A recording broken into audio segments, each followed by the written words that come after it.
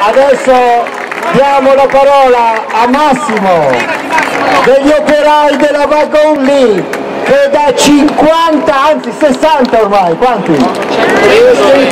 117 giorni ormai sono sulla torre e stanno lottando, è l'altra faccia della lotta del popolo Notab. Si sprecano miliardi per fare un buco per distruggere una valle e non si trovano i soldi per collegare coi treni il nord e il sud del paese 800 lavoratori vengono licenziati. Loro sono qui con noi forza Massimo. Grazie dell'ospitalità sono uno degli 800 lavoratori che da 117 giorni siamo sotto una torre nell'indifferenza più totale, siamo degli invisibili, siamo dei ferrovieri di serie B, tant'è che dovremmo chiedere la residenza fuori dalla stazione, perché non diamo fastidio a nessuno, una lotta civile, pacifica, non violenta, ma così civile che non se ne accorge nessuno. Solidarietà dalla gente, dal popolo, dalle, da, dai partiti, da certi partiti tantissimi, ma una parola, un segno, un, un qualcosa che facesse, potesse far scendere i ragazzi della torre, far finire il presidio non è stata fatta. Hanno tolto un servizio pubblico, un servizio pubblico pagato con i soldi dei cittadini, un servizio oltretutto utile, indispensabile, dei treni notturni che univano l'Italia, che andavano dal sud al nord, che servivano alla gente comune. Ecco, questa è la politica del grande capitale, la politica del grande capitale che se pensa solo alle banche e allo spread, ma il lavoro, il lavoro per loro non esiste. Stanno facendo dei grandi casini per poter licenziare meglio, ma non per creare occupazione. Noi ne siamo l'esempio, 800 persone, un lavoro che c'era, dei treni che funzionavano, ecco, li hanno tagliati, ma noi siamo più testardi di loro, abbiamo fatto 117 giorni, ne faremo 200, ne faremo 250, finché alla fine non avremo quello per cui stiamo lottando, un tavolo di trattativa nazionale, perché il problema è nazionale, i treni notturni interessano tutta l'Italia,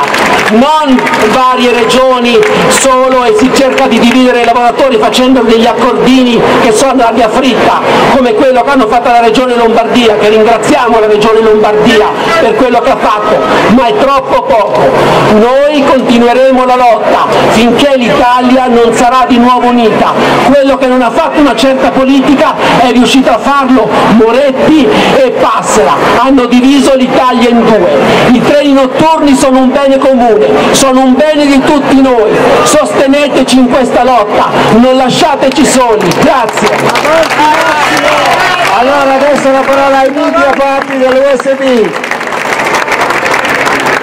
Siamo qui oggi in questa enorme manifestazione a dimostrare a Monti e a Napolitano che non è vero che il paese è con loro, al contrario di quello che va dicendo in giro questo tecnocrate di Goldman Sachs e della Borsa di Milano e della Bocconi. Siamo qui a far vedere che c'è un popolo che respinge questo odio di classe, perché d'odio di classe si tratta, da parte del capitale che ormai non sa più produrre niente di progressivo. Questo governo che in nome della imbelle politica dei, nostri, dei partiti, appoggiato da Napolitano, che ha stracciato ogni norma democratica, non esiste più la democrazia in questo paese, né a livello politico né a livello sindacale, ce lo sappiamo da anni, in nome appunto di questa investitura sta imponendo una lotta di classe dall'alto che ha portato con un voto di fiducia della Camera a abolire il contratto nazionale dei ferrovieri ad esempio. Ieri il direttore generale delle ferrovie ha consegnato ai lavoratori una lettera in cui dice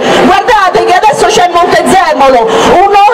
una giornata di lavoro di un macchinista dell'azienda di Montezemolo costa 27 euro, voi, voi costate 40 euro, allora vi dico subito che se non aumentiamo la produttività e se non ci diamo una regolata andiamo a carte 48 e il compagno dei wagon litti prima lo ha detto. Anni fa sarebbero scesi in sciopero immediatamente tutti per l'abolizione di un contratto nazionale. Oggi siamo noi a dire che non ci stiamo, ci sono 36 contratti da rinnovare, ci sono, oggi sui giornali abbiamo letto che le dichiarazioni dei redditi dei padroni dichiarano meno dei nostri lavoratori, di noi lavoratori e il costo della vita aumenta. Non ci incantano, non ci incantano le false operazioni vetrine con cui, vergogna, vergogna, con cui Monti va a Cortina o a Positano a fare eh, la bella figura di far la multa a qualche sub, a qualche proprietario di yacht. Noi il debito non lo vogliamo pagare, è un debito che è stato costruito per dare i soldi alla Fiat,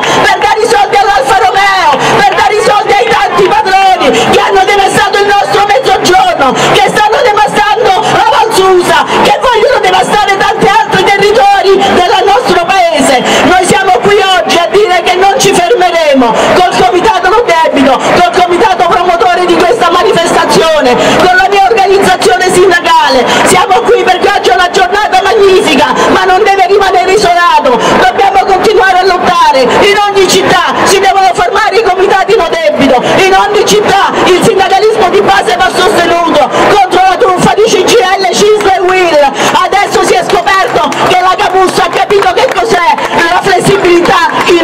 uscita. Ebbene, due giorni fa a Firenze è stato licenziato il primo autoferro tranviere con una lettera che dice che siccome c'è un problema economico, prima ancora che l'articolo 18 venga eh, approvato, costui è stato licenziato per ragioni economiche, quando quella stessa ditta si prepara a concorrere per l'appalto di tutto il trasporto pubblico locale in Toscana. E allora dobbiamo essere uniti, dobbiamo essere compatti, dobbiamo dimostrare sempre ovunque la nostra voglia di lottare, perché siamo donne, siamo uomini, siamo precari, siamo giovani, siamo gente in carne e ossa e questo il tecnocrate Monti e l'ancora più gelida, come si chiama lì a Fornero? Dillo, dillo, dillo, Lo devono sapere, altro che le lacrimucce, le lacrime le, le tiriamo fuori noi ogni giorno, quando è arrivato al 14 del mese lo stipendio è già finito, avanza troppo mese per il nostro salario. E allora qui è da oggi parte la riscossa, la riscossa di tutti noi, compagni, lavoratori, giovani studenti, oggi qua in piazza sono venuti da tutta Italia, gli occupanti Roma, di Napoli, di Bologna, di Milano, tutti quanti insieme, i giovani precari e tanti altri lavoratori, sia che siano in crisi che no, per dire che non ci stiamo e non ci staremo, Monti te ne devi andare!